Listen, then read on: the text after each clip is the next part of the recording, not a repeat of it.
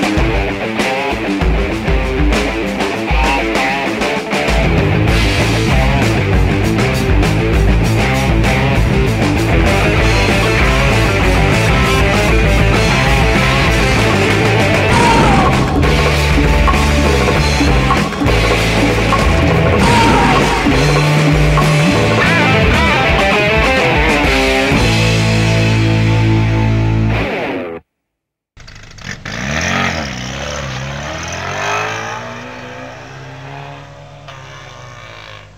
This is a factory original hardtop for the midget. This came off of my brother's, came with my brother's 1970 midget, um, which was found in a cornfield in Ohio, which is why it says right here, OSU, Ohio State University. The floors are pretty well rotted out, and there really wasn't anything to save it any reason to save the car except that it had really nice parts and a lot of really great factory original stuff. The engine looks immaculate and so forth. We plan on, I, I plan on restoring this hard top. Uh, my local MG club is going to be dropping by shortly to help me dismantle it and assess the damage. We're going to be removing these lock strips. I'm learning how to do that.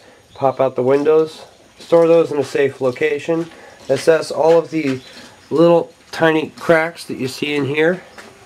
Whatever dings and dents and chips there might be.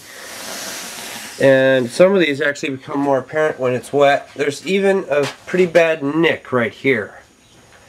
Um, take off the gutters. I just um, put some caulk in there to try and seal it up because the seals underneath were pretty bad and it was just directing water underneath onto my leg. Uh, obviously the fuzzy weather strip in here needs to go.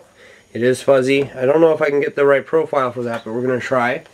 And just whatever else needs to be replaced. Certainly at some point it's going to get all sand, sanded down and resurfaced. Um, a friend of mine in the club has offered to paint it if I just pay for the paint, so that's a pretty good deal. Should be a really inter interesting project, and I don't think too many other people have tried it before. Um, down here, of course, we do have the mounting brackets. See if we can find them. Ah, there's one. And then over here, on the other side, there's the other. And those just bolt straight onto the car at the following locations. Here on the right side, right where the hood, the convertible top um, frame bolts in, and the bolt would go straight through here on this side. And then of course the, the front edge clamps on where the convertible top normally would. Now I have flipped it over. You can see the clamps in the front. This one actually has uh, some cocoon that an insect made in it, which is what happens when it sits in a cornfield forever and ever. As you can see, all the seals and stuff are pretty badly rotted. Right here, there's a, an extra bolt hole. There's another one on the other side, so one wonders if this um, was at some point on a on a car that with different spacing there. Um, seems like it was sort of universal. It could be there or there. I'm probably going to patch up the extra holes because it's a little unsightly. But I'm going to try and talk to some other people about that because I want to preserve some originality. Um, the headliner is also made of fiberglass. The whole thing seems to be double walled in construction. Um, it's a little bit warped in here. As you can see I'm pushing down on it and it sort of pops back into place. And I don't know if there's any way to fix that, but it would be nice if we could figure it out. And even inside there's some cracking and chipping. I do want to somehow figure out how to preserve the texturing in this because it's supposed to look like cloth. If you can see very carefully, I'm going to try and bring this into focus manually.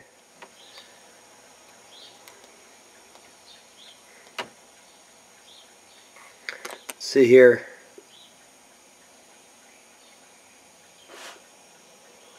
Yeah, now you can sort of see the, the texture that's here. This is all, this is the way it looks all the way over it. It's supposed to look like some kind of cloth. Um, very, very coarsely woven, and I kind of like the way that looks. Although I do want it to be a lot, uh, lot brighter, a lot cleaner looking. So that's going to be the, goal for that.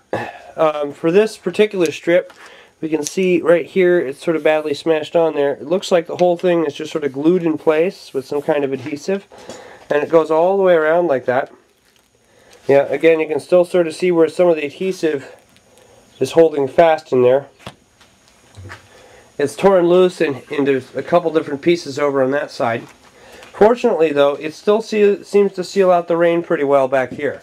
It's always been a problem around um, the scudder piece here and some of the screws haven't even screwed back in last time I tried to install that correctly.